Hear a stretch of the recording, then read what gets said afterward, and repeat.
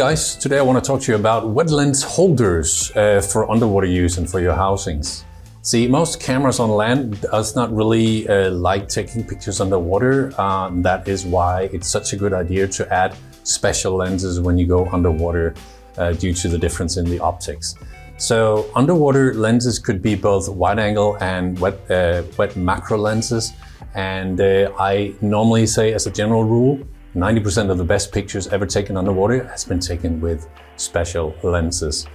Actually, we could make that 99% because I believe that the closer you get to your subject, the better. And you can do that with macro or wide angle lenses. So a wide angle lens that is a wet lens could look something like this.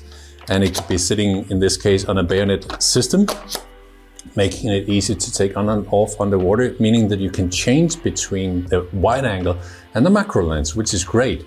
Uh, the only problem is that when you're not using the lens, the lens not in use, where do you want to store it? So that's a very good uh, question. And as you can see on this housing, the solution is lens holders. So there's a few different types of them. There's the bayonet mount holders. This is a single. And there's the M67 threaded uh, lens holders as this one, where I have screwed the lens directly onto the holder. This one is a double holder and they both come as single or double. The most predominant ones are the Nauticam bayonet holders and the AOI system holders.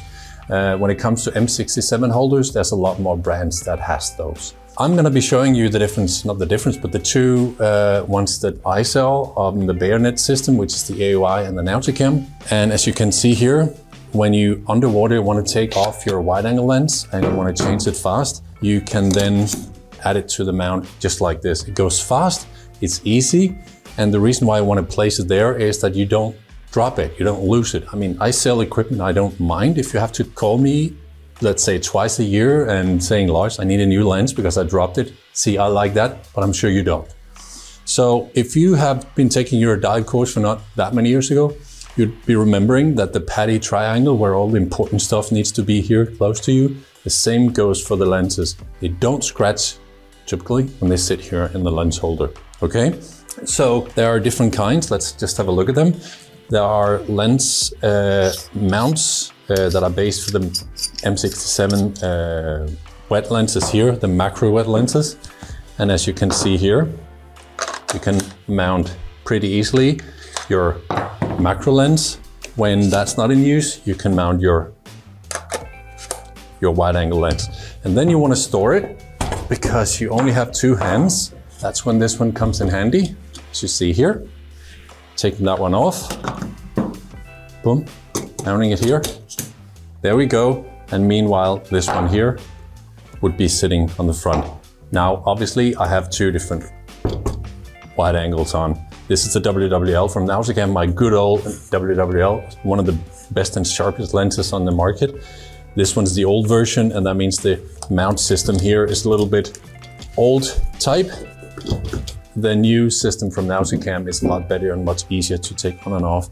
And the QRS is really nice as well. You just press that one and then it's off and you mount it onto here.